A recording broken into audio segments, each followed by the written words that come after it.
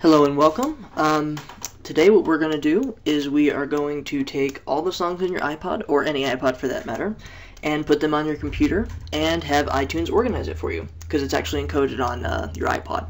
So if you reformatted your computer, you know, you deleted all your files or you just don't have any backup of it, um, or you want to transfer it to a new computer without, and you don't have a portable hard drive, I guess, um, this is what you can do. So what we do first is, of course, plug in your iPod. Um, and as soon as your iPod's plugged in, you're going to go ahead and look for it. So start my computer, and my iPod is right there, Morgan Shawn, so I go ahead and double click that. And now that we're in your iPod, all this stuff right here is uh, everything that's on there. And you're probably wondering where your music is. So the way you can actually look at your music is you go to Tools, Folder Options. Uh, now we're in Folder Options. You go to the Top View uh, tab, and you go down to where it says hidden files and folders and you want to have the bubble clicked for show hidden files and folders. So it should look like this. Right out there. Cool. So now you hit apply. Okay. And now you can see there's a uh, hidden folder. It's transparent. It says iPod control so you go into that. And then what happens after that is you go to this little folder here also hidden. That says music and now you see a bunch of folders, F00 through whatever, depending on how much music you have on your iPod. Um, I have 49 folders. And you have all these folders right here.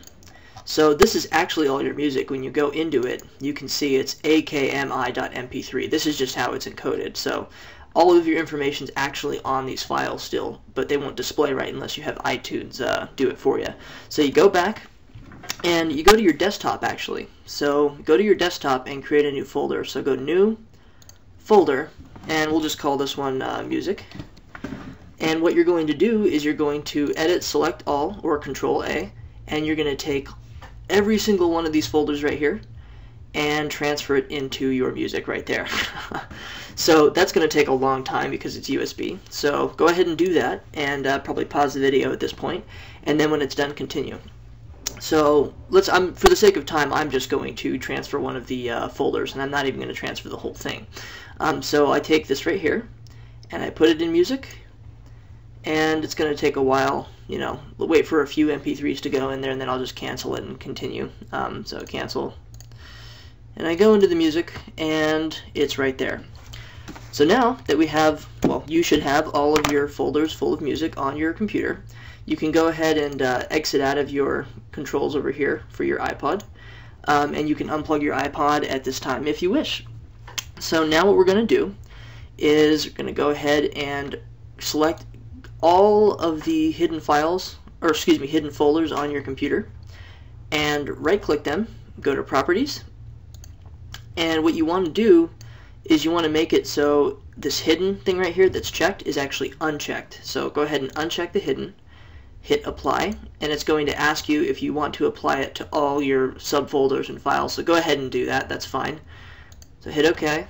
OK. And now it's no longer transparent. It's no longer hidden. So uh, iTunes will recognize it when you want to add it. So now what we're going to go ahead and do is minimize this. I'm going to go ahead and open iTunes. And what you want to do here is you actually want to go to edit preferences um, now in the tabs at the top, you want to go all the way to the right to advanced. Now, what you want to do is you want to actually make sure that your thing looks like this. So it should say, uh, keep my iTunes folder organized right here.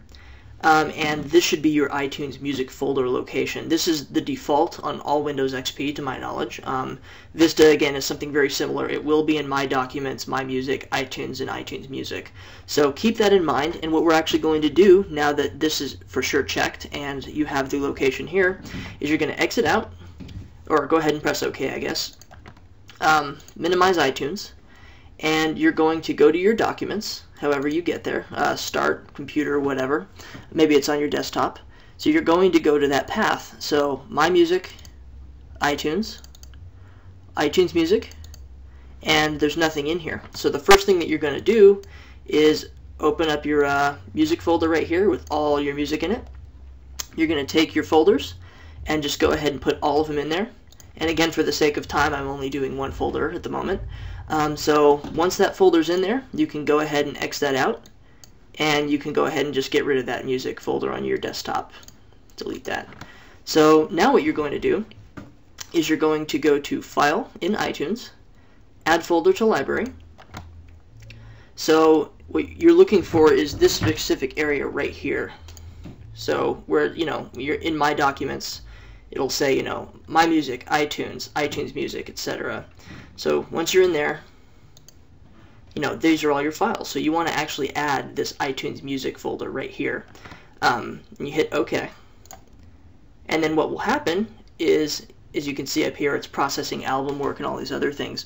Um, it actually took all those encoded files, added them to your iTunes with all their original information, and when you go back to your uh, iTunes folder, you know, the one that you put your uh, encoded files in, it will actually now be organized with however many artists you have. So I only had six artists within that one folder. Um, if you have, you know, between 20 and 50 folders, you will surely have many more artists than that. Um, and then you can just sit back and celebrate. So that's pretty much it. Thanks for watching, and uh, again, I just want to emphasize that this will work for virtually any iPod. I myself am using a 6th generation iPod Classic for this demonstration. I have a 2nd generation Shuffle that I've tested this for, and it works perfectly fine. Um, iPod Touches should work exactly the same, and uh, you just got to make sure it goes into that one file so it's organized. So, yeah, do it with as many iPods as you want, but be responsible. Thanks for watching.